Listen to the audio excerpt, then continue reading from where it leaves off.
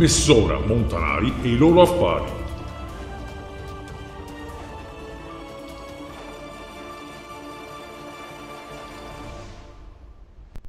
Ormai ci ho fatto il callo a tutti quelli che mi chiedono di metterci la faccia e che pensano che sarei pagato da chissà quali poteri forti per screditare chi diffonde verità scomode. Come utente YouTube, oltre che autore, anche io seguo dei canali e la cosa interessante è che qualcuno di quei geni che pensa sia pagato da chissà chi si presenta a volte ad attaccarmi anche sotto ai miei commenti ad altri video. Mm, ad esempio, seguo Link for Universe di Alan Faltade perché lo ritengo molto appassionato in quello che fa e mi piace il suo modo di esporre che spesso non si prende troppo sul serio. E sotto a un mio commento ad un suo recente video sull'atterraggio di Perseverance su Marte, qualcuno si è fatto vivo dicendomi che mi farei pagare con due spiccioli per le mie diffamazioni. Eh, poveri noi. Sarebbe molto strano che i poteri forti si servissero di un piccolo canale di poco più di mille iscritti per abbattere dei paladini della verità, pronti ad immolarsi per il bene comune. Non vi pare? A queste persone non passa minimamente per la testa che ciò che facciamo io e altri come me sia solo dovuto ad un modo diverso di vivere la realtà. Io non penserei mai che tutti quelli che scrivono questi commenti siano pagati da qualcuno, anzi, spesso sono loro che finanziano i complottari, sia direttamente che indirettamente. Purtroppo questi individui spesso fanno strane correlazioni, come se essere contro i cazzari e i truffatori corrispondesse ad essere a favore di tutto ciò a cui loro non credono. Per spiegarmi meglio, io non penso che il virus non esista, e che la pandemia sia stata dichiarata a caso o per chissà quale disegno malvagio di poteri che ci vogliono sottomessi o sterminati. Ma questo non vuol dire automaticamente che tutte le decisioni prese dai governi o dagli enti preposti alla salute siano indiscutibili e non criticabili. E che non esistano lobbies che stanno anche speculando sulla pandemia per fare soldi. Non voglio parlare di politica, perciò quello che sto per dire riguarda tutti i governi che nel mondo hanno avuto a che fare purtroppo con lo stesso problema del SARS-CoV-2. Ogni Stato ha pensato alle proprie strategie, che hanno avuto successo o meno e che spesso hanno favorito alcune categorie rispetto ad altre, alle quali hanno causato veri problemi economici e questo è un dato di fatto. Ma il problema è per tutti trovare un precario equilibrio tra contenimento del virus e mantenimento dell'economia. In alcuni stati ha prevalso persino il negazionismo, dato che questo si trova ad ogni livello della società, e solo il fatto che ci siano nel mondo governi e presidenti negazionisti dovrebbe far capire che non esiste nessun disegno perfetto e comune di elite immaginarie. Il mondo è nel caos, altro che piano degli illuminati del nuovo ordine mondiale.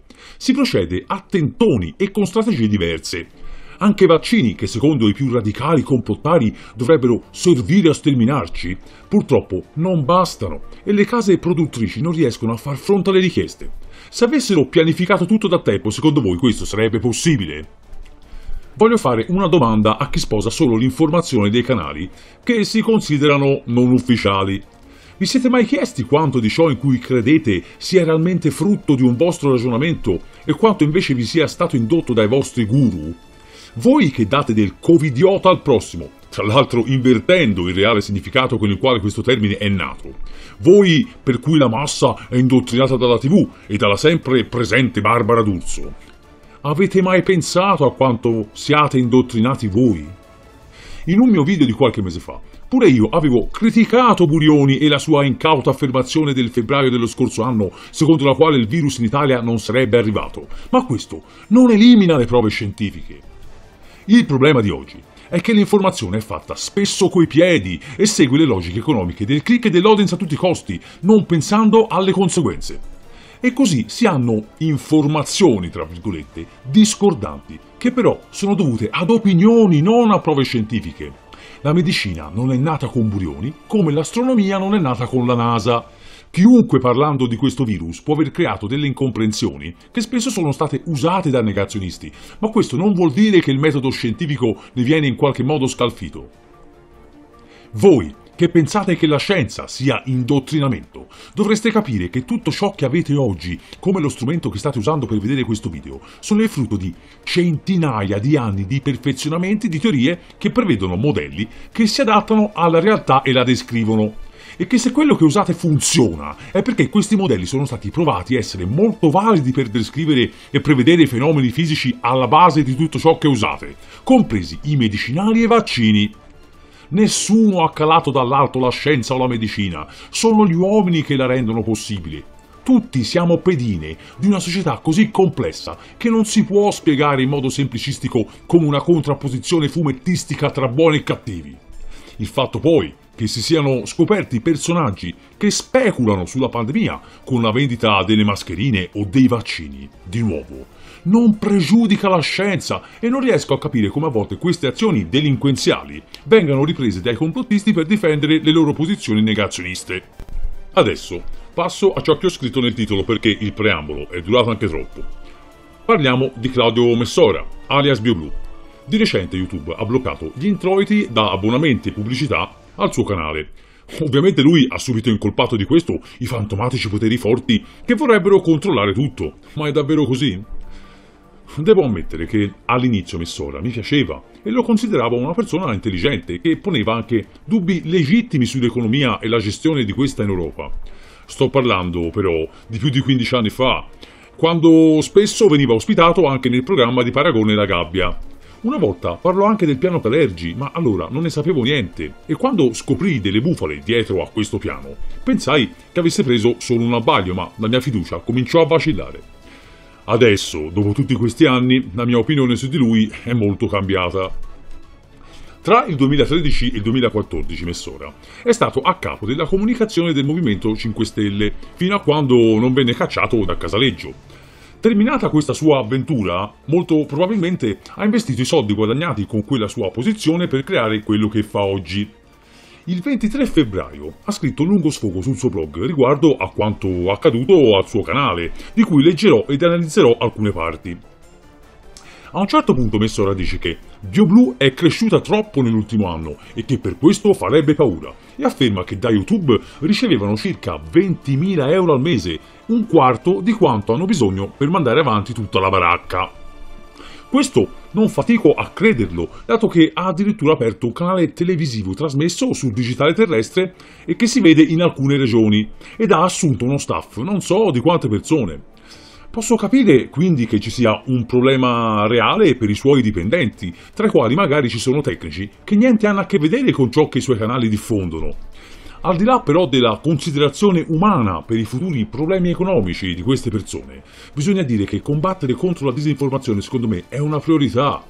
Ultimamente mh, mm, seguo poco di ciò che Messora mette in rete e, e quando ho visto qualche video mi sono reso conto che non tutto ciò che viene pubblicato ha lo stesso valore.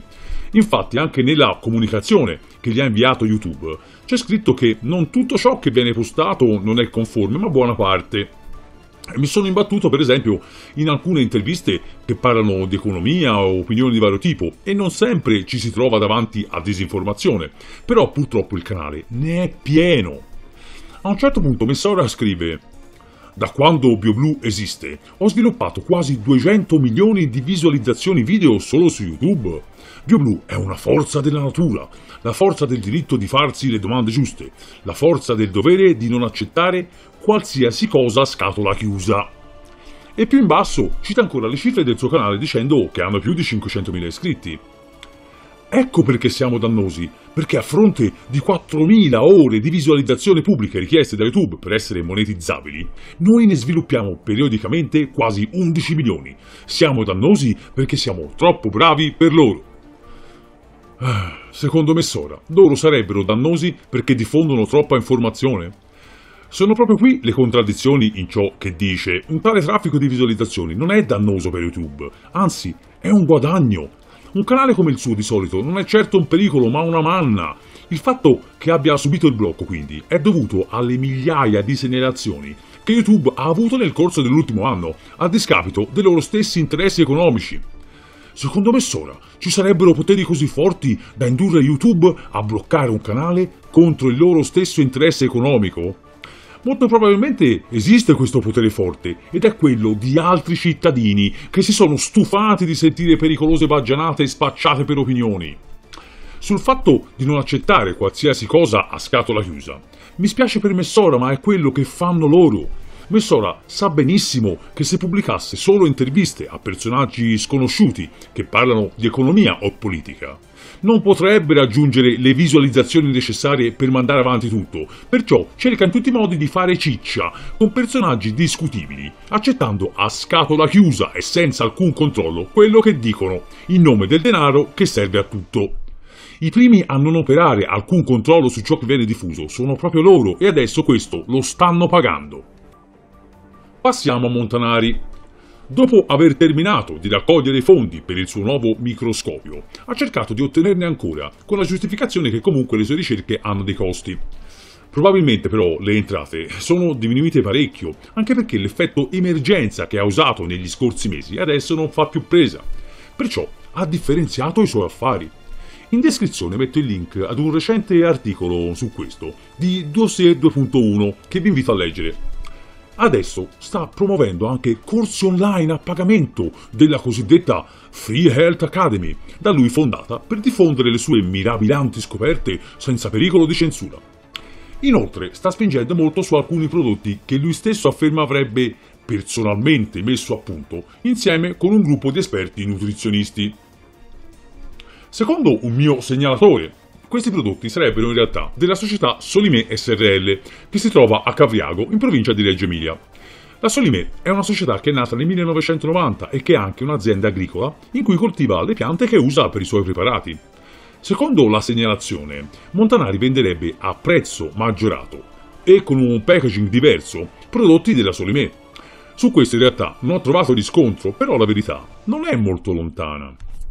Sulle confezioni degli integratori venduti da Montanari c'è scritta la società che li distribuisce e lo stabilimento dove fisicamente questi vengono prodotti.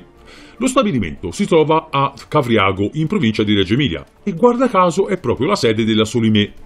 Quindi Montanari fa produrre i suoi integratori proprio da questa ditta, a quanto pare.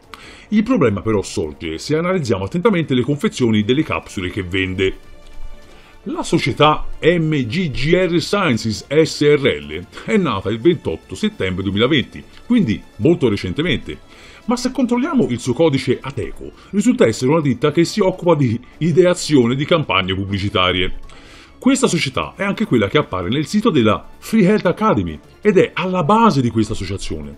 Se avete guardato il mio video su Nonna Maura, avrete già visto una situazione del genere dove in realtà tutto sembra ruotare attorno alla pubblicità.